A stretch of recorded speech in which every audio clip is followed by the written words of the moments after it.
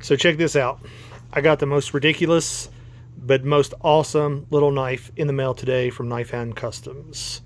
My friend James, we served in the Marine Corps together, and he had some extra steel left over on some blades that he had done.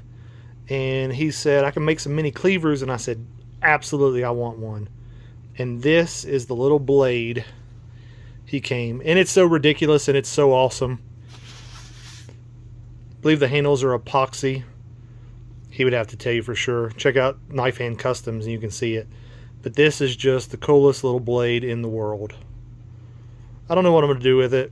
Maybe carry it, maybe skin a deer with it. We'll see.